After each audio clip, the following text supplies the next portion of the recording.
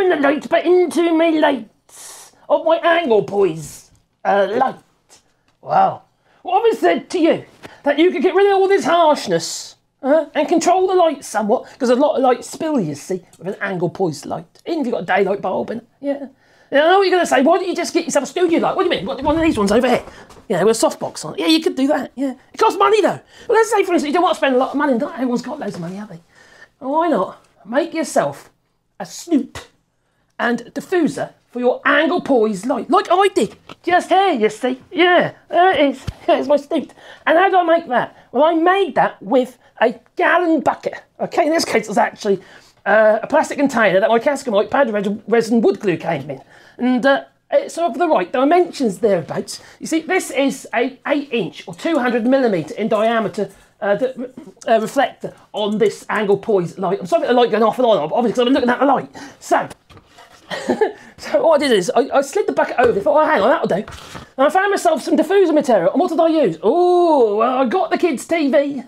Luckily, they all left home. And I ripped it all to pieces. It's a flat screen television. And they have a diffuser layer in them. And that's what that is. That is the diffuser. I have a flat screen TV. That's cycling, you know. I just got in a tip otherwise. No. So what I've done is I cut the bottom of the bucket out, okay? Neatly, just with a Stanley knife, just neatly. And uh, obviously, don't cut towards yourself because you slice yourself, okay? I nearly did it twice. Anyway, and then I glued it on with some super glue, which is quite well fitting, really, considering I used Eureka a Cascamite, you know, pad resin wood glue for the actual bucket.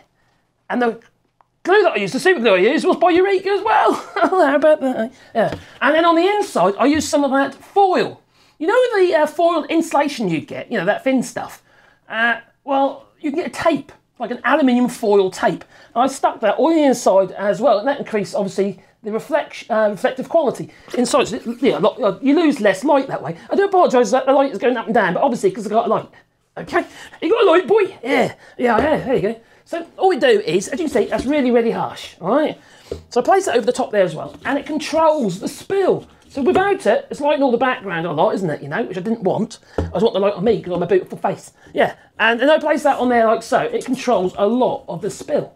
Yeah, and it's softer as well. It works, you know, and it just fits onto the treat, you see. Yeah, so you can make your own flip and uh, diffuser snoot if you like. You could even put honeycomb on it if you wanted to. But you could, yeah. So, hasn't got to cost a fortune. Just sometimes you've got to think outside the box, or in this case, a gallon bucket.